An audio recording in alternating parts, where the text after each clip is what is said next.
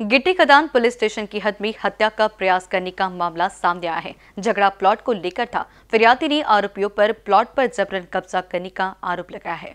गिट्टीकदान police station की हद में रहने वाले मंगल सिंह राठौड़ का प्लॉट को लेकर आरोपी प्रीतम सिंह राठौड़, मिथिलेश राठौड़, ममता चौहान, तुलसीदास किशन सिंह चौहान, इनके साथ झगड़ा शुरू है। घटना के दिन इन दोनों परिवार में प्लॉट को लेकर चर्चा हुई थी। चर्चा झगड़े में बदल गई और आरोपियों ने फिरियादी और उसके परिवार पर लोहे के रॉड से हमला कर दिया। इस घटना में फिरियादी का बेटा बुरी तरह जख्मी हुआ है।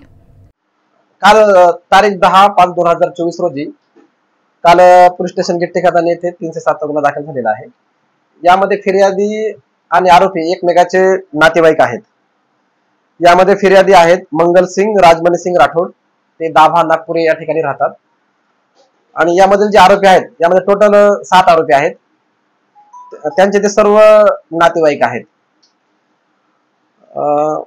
तर यामध्ये हकीकत अशी आहे यांचा प्लॉटच्या कारणावरून माग मागच्या तीन चार वर्षापासून वाद सुरू आहे. तर काल हे आरोपी फिर्यादीच्या घरी आले होते. रॉड वगैरे घेऊन. फिर्यादीला व त्याच्या फॅमिलीला रॉडने जीवे मारण्याचा प्रयत्न केलेला आहे. यावरून आपल्या पोलीस स्टेशन येथे तीनशे सात आलवे गुन्हा दाखल केलेला आहे. यामध्ये आम्ही दोन आरोपीला अटक केली.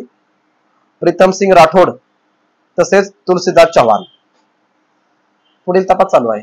हा हा आकांक्षी लेआउट दाभा नागपूर या ठिकाणचा प्लॉट आहे. सध्या त्या प्लॉटवर फिर्यादी राहतात.